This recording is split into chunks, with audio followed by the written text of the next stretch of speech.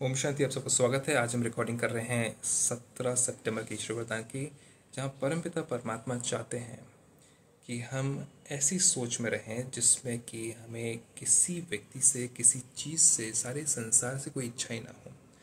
वो ऐसी स्टेज है जहाँ पर हम जो भी कर्म करते हैं, हम इतनी खुशी में करते हैं कि हमें वो खुशी के कारण ही, वो संतुष्टता के कारण ही हमें किसी से कोई चीज़ की इच्छा नहीं होती है। हम इतने हाई लेवल में होते हैं हैप्पीनेस के, जिसमें कि हमारे ब्रेन में सेरोटोनिन या डोपामाइन इस टाइप केमिकल्स हार्मोन्स जो होते हैं, जो कि हैप्पीनेस के हार्मोन्स होते हैं, वो ऑलरेडी रिलीज़ हो चुके हैं कि दूसरा व्यक्ति कोई अगर आपकी बहुत महिमा करके चला जाए या दूसरा व्यक्ति आप बहुत गिरा करके चला जाए, कुछ कह करके, आपको उसका असर होता ही नहीं है। इस लेवल की बात कर रहे हैं। लेकिन वो सारी चीज़ें कब होती हैं, वो प्रैक्टिस से आती हैं। वो प्रैक्टिस क्या होती है, जिसमें कि आप दुनिया से डिटैच हो जाते हैं और परमात्मा से अटैच होते हैं। लेकिन बहुत सारे लोग सोचते हैं कि परमात्मा से अटैच हो गए तो सन्यासी साधु बन जाना पड़ेगा। नहीं, मैंने काले कपड़े पहने यहाँ पर। मैं साधु सन्यासी नहीं हूँ, लेकिन हाँ रहता वैसे हूँ इच्छाएँ नहीं रख करके। जिस कारण से मेरे घर में अगर कोई झगड़ा भी होता है, कोई बुरी बात भी होती है, कोई मुझको कुछ गलत भी कहता है या किसी और के बारे में गलत सुनाता भी है तो उस समय मुझे किसी और की साइड लेने की ज़रूरत नहीं है। मुझे किसी और को गलत ठहराने की ज़रूरत नहीं है। मैं उसमें न्यूट्रलाइज कर पाता हूँ गॉड नॉलेज की वजह से। और मुझे डिटैचमेंट और अटैचमेंट है। ये नहीं कि कोई अगर मेरे से क्लोज है रिलेशन में और कोई दूर है मेरे से, किसी ने मेरे साथ अच्छा नहीं किया तो मैं उनके प्रति ज़्यादा और उनके प्रति कम। नो इसलिए डिटैचमेंट एंड अटैचमेंट का कंसेप्ट आज परमात्मा में समझाते हैं। तो परमात्मा कहते हैं कि प्रवृत्ति में रहते, लौकिकता से न्यारे रहे। लौकिकता मतलब दुनियावी बातों से न्यारे रहे। प्रभु का प्यार प्राप्त करने वाले लगाव मुक्त भवा। किसका प्यार? प्रभु का प्यार। ये बहुत इंपॉर्टेंट ये कंडीशन है कि अगर आप इन चीज़ों छोटी छोटी बातों से जिसमें कि हम घुल मिल जाते हैं या फंस जाते हैं इन चीज़ों में चक्रव्यूह में फंस जाते हैं, इसको फेवरेट बनाया, उससे दूर हो गए, इसको आज वो अच्छा हुआ, उसके पास आ गए, इससे हमने नफरत कर ली।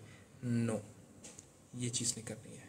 आज कोई सगा हो गया, कोई लगा हो गया, आज कोई क्लोज हो गया, कोई दूर हो गया, ये चीज़ नहीं करनी, ये डिटैचमेंट ये मैनिपुलेशन है। ये अच्छी बात नहीं है, ना कि आपके घर के लिए, ना कि आपके प्लेस के लिए जहाँ पे आप काम करते हैं, ना कि आपके बिज़नेस के लिए। परमात्मा कहते हैं, प्रवृत्ति में रहते हैं। आप जब घर बार में रहते हैं तो ये लक्ष्य रखें कि सेवा स्थान पर सेवा के लिए है। कि मैं जिस स्थान पर हूँ अभी, मैं आत्मा, मैं वो सेवा करने के लिए हूँ, लेकिन मैं किसी एक स्पेशल आत्मा के लिए नहीं आई हूँ। सारे लोग मेरे लिए बराबर हैं, सब लोग मेरे लिए आत्मा है। स्पेशल ट्रीटमेंट देने से वहाँ पे प्रॉब्लम होती है। हम बराबरी के लिए सेवा स्थान में आए हुए हैं। ये शरीर भी परमात्मा ने दिया हुआ है। इस शरीर को मैं इस्तेमाल करूँ जितनी इसमें ऊर्जा है, उतनी मैं सेवा करूँ। लेकिन मुझे इस ऊर्जा स्पेंड करने के रिलेशन में कुछ रिटर्न मिलनी चाहिए। यानी कि मैंने किसी की हेल्प करी, किसी की मैंने मदद करी या किसी को मैंने ज़्यादा सेवा करी, उससे मुझे अब वापस क्या मिलेगा? और मैं चाहे इस कारण से सेवा करूँ ताकि उस इंसान से, उस व्यक्ति से मुझे कुछ वापस मिले। ये फिर प्योर सेवा नहीं हुई। तो परमात्मा कहते हैं, जहाँ भी रहते, वहाँ का वातावरण, सेवा, स्थान जैसा हो। कोई इधर उधर की बातें नहीं, कोई किसी के अगेंस्ट बातें नहीं, कोई किसी के साथ मिलकर करके बातें नहीं, कोई कॉन्स्पिरसी नहीं। क्योंकि फिर वहाँ पे अपवित्रता आएगी।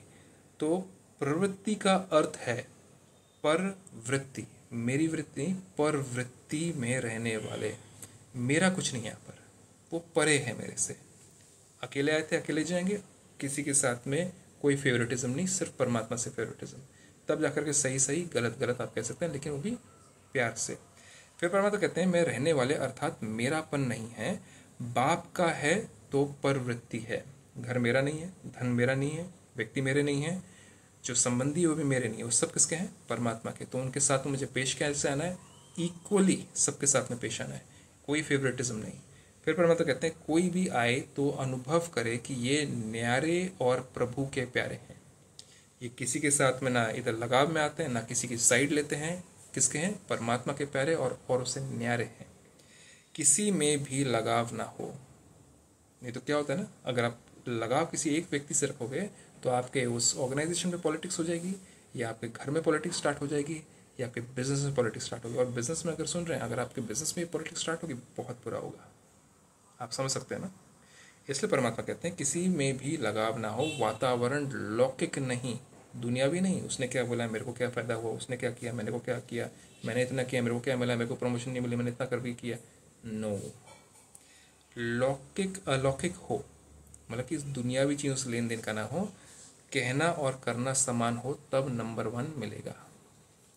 कहना और करना समान। आपने जो कहा, आपने वही किया। लेकिन इसका मतलब ये नहीं है कि आप गलत कहते जाओ, करते भी जाओ गलत ये वो बात नहीं हो रही है। आप समझते हैं, आप समझदार हैं बहुत। कहना और करना बराबर। अगर आप किसी के प्रति कहते हैं कि नहीं, ये चीज़ सही नहीं है तो आपने सही नहीं, उनको भी बोला। आपने तीसरे व्यक्ति भी सही नहीं बोला चौथे व्यक्ति भी सही नहीं बोला। ये नहीं कि इनको बोला सही नहीं, उनको बोला नहीं नहीं, कुछ नहीं होता। चलता है, उसको मैंने बोल दिया ना, कोई बात नहीं है। आपके लिए अलग है ये। आपके लिए अलग रूल्स हैं, आपके लिए अलग रूल्स हैं। नो क्योंकि आपका अटैचमेंट इन दोनों से फ़ायदा मिलने का इन व्यक्तियों से, इसके लिए रूल्स अलग हो गए, लेकिन उसके लिए रूल अलग हो गए। ये फिर सम दृष्टि से नहीं, आपको भी रिस्पेक्ट नहीं मिलने वाली है, आप भी कोई कार्य ठीक तरीके से नहीं करा पाएँगे। आप एक अच्छे लीडर नहीं बन पाएँगे, आप अपने घर में ही, अपने ऑर्गेनाइजेशन में ही, अपने वर्क प्लेस में, अपने बिज़नेस में आप बहुत ही मैनिपुलेशन कर बैठेंगे और आपकी ये अटैचमेंट के कारण, लोगों से इच्छाओं के कारण कि इसके साथ अच्छे हो जाओ, उसके साथ बुरे हो जाओ, इससे कोई फ़ायदा नहीं, इससे ठीक से बात नहीं, इनके साथ बहुत अच्छे से बात करनी भैया, इनको तो काम के लोग हैं, साथ में रखो। ये चीज़ लंबी नहीं चलती है। और इस कारण से हम परमात्मा के भी नहीं बन पाते हैं। तो और डिटेल्स के लिए आप ब्रह्म कुमारी इसको ज्वाइन करें और आप अपने ही घर को, अपने ही बिज़नेस को, अपने ही वर्क प्लेस को सुधारें। इसके साथ में स्कैन के साथ, इसके साथ, ओम शांति।